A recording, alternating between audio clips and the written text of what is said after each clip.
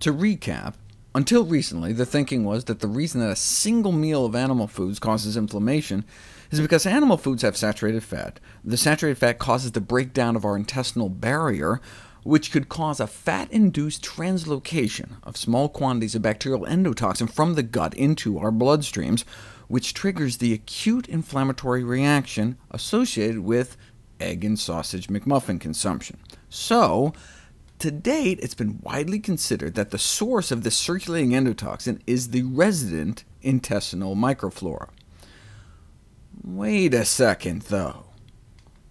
What's wrong with this picture? Look at the time scale. The rise of inflammation starts within just a few hours of ingestion. But where's our bacteria? Not in our small intestine, but 20 feet farther down in our large intestine. It could take like 8 hours for a McMuffin to get down there. So what's going on? Where else could bacterial endotoxins be coming from if not the bacteria in our gut? Maybe the endotoxins are coming from the food itself.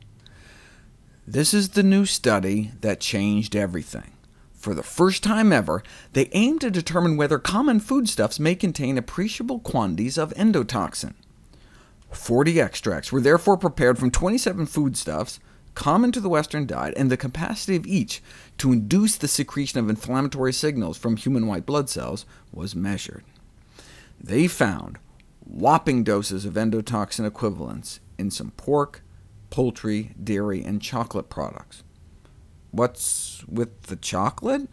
Well, the first step in chocolate making is bacterial fermentation of the beans. But thankfully, the phytonutrients, the plant-based nutrients, outweigh the effect of the bacteria and decrease inflammation overall. The same cannot be said for animal products, though.